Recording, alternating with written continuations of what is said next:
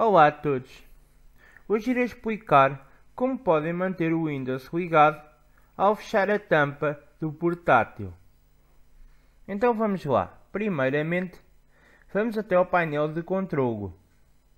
Vamos até à barra de pesquisas e vamos escrever painel de controlo. Vejam que já está aqui e damos um clique. Agora vamos até hardware e som e damos um clique nas letras verdes. Vamos até opções de energia e agora vejam qual é que está marcado. Se está em equilibrado recomendado ou se está em poupança de energia. E clicam nas letras azuis onde diz alterar definições do esquema.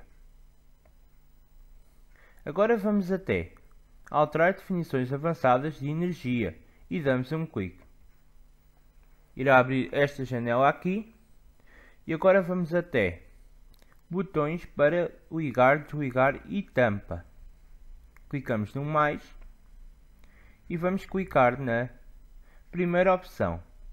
A ação de fechar a tampa. E clicamos sobre o mais.